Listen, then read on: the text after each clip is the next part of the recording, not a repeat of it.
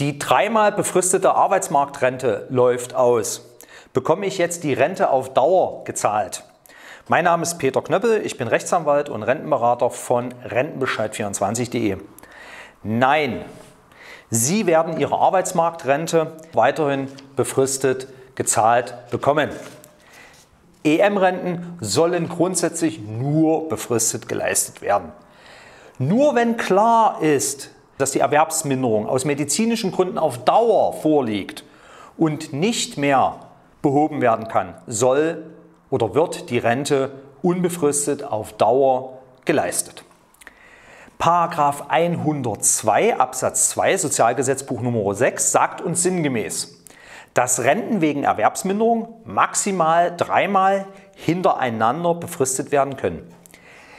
Dies gilt aber nur für Renten wegen Erwerbsminderung aus medizinischen Gründen.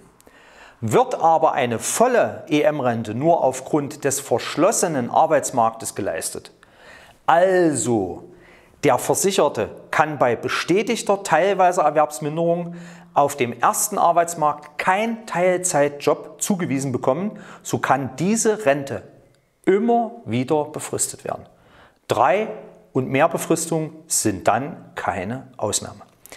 Das Entfristungsgebot des 102 SGB 6 gilt nur für EM-Renten aus medizinischen Gründen. Damit ist klar, dass eine Arbeitsmarktrente mehr als dreimal befristet werden kann. Näheres zu diesem Thema finden Sie auf www.rentenbescheid24.de. Ich wünsche Ihnen eine rentenstarke Woche. Ihr Rechtsanwalt und Rentenberater Peter Knöppel.